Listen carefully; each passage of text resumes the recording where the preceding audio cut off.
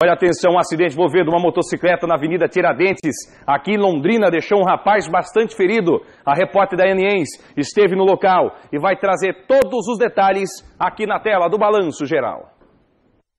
Nesse momento, o rapaz, o motociclista, está sendo atendido aqui pelos homens do Corpo de Bombeiros do CIAT eles estão imobilizando aqui o braço direito desse rapaz, provavelmente uma fratura. Daqui a pouquinho, esse jovem vai ser colocado dentro da ambulância, receber ali os primeiros socorros e, em seguida, ser levado aqui para uma unidade de saúde. Olha só agora, os bombeiros vão colocar a vítima em cima aqui dessa tábua para poder imobilizar por completo o corpo desse rapaz, que a gente percebe, graças a Deus, está consciente, está respondendo aos estímulos, está conversando. Olha só, vai ser colocado ali agora.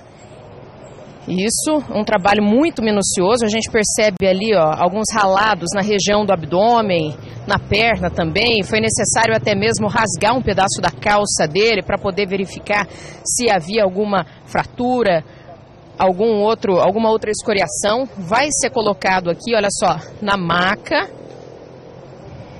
E lá dentro da ambulância, o pessoal do CIAT vai prestar todo o atendimento para esse jovem.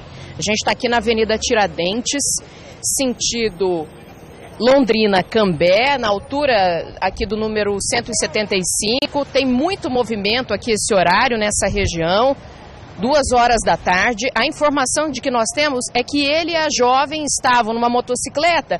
Mostra aqui pra gente, Japa. Ele teria passado de uma pista para outra e atingido aqui a tartaruga, né? Que divide as pistas, perdeu o controle e acabou caindo.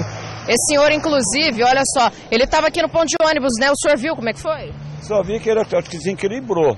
Acho que ele desequilibrou e bateu, acho que não, deve ser ali. Uhum. E aí virou ele e planchou. João Paulo dos Santos, de 32 anos, e Maiara Cristina Freitas, de 26, foram atendidos pelos socorristas. Ele teve uma fratura na região do antebraço, uma fratura aberta, né? O osso tem uma exposição ali com meio externo, vai precisar passar por um procedimento cirúrgico dentro do hospital. Bom, e a menina?